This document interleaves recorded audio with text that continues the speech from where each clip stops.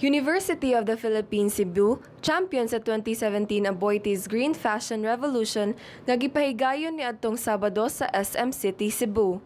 Nakuha sab sa UP ang 5 special awards, Best Clothing Design, Best Accessories Design, Best Bag ug Best Footwear. Second placer ang Fashion Institute of the Philippines, third placer ang Cebu Technological University, ug fourth placer ang St. Teresa's College. Ang Green Fashion Revolution mao'y brainchild sa group of Aboitiz Scholars atol sa Aboitiz Scholars Corporate Social Responsibility Summit ni atong December 2011 and it was first staged in 2012 through the sponsors of the Aboitiz Foundation. Reva Hermosa, USCAB Communications Intern, Sunstar Light On.